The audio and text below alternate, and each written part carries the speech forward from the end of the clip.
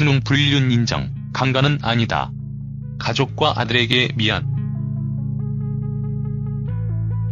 가수 신유의 아버지 신웅씨가 작사가 A씨가 한 매체와 가진 인터뷰에서 자신을 강간 범죄자로 표현한 것에 대해 10년여 기간 동안 작곡가와 작사가 사이로 좋은 관계를 유지해 왔던 분 맞다며 강간이었다는 주장은 인정할 수 없다고 반박했다.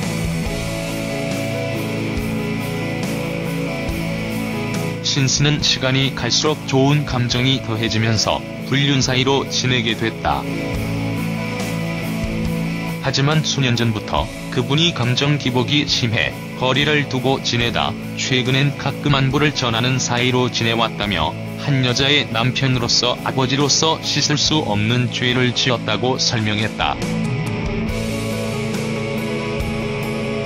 강간설에 대해선 완강한 입장을 보였다.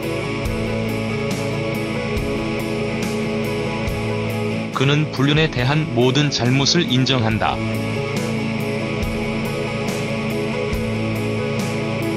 한때나마 사랑했던 사람에 대한 예의를 갖추지 못했던 행동이 있었다면 그 또한 책임질 것이다. 그러나 미투 분위기를 이용해 강간이라는 주장을 펼치는 부분에 대해서는 법적 대응을 준비 중이다고 주장했다. 그는 불륜의 죄값은 어떤 처벌도 받아 마땅하다. 모든 활동을 중단하고 반성하며 살 예정이다.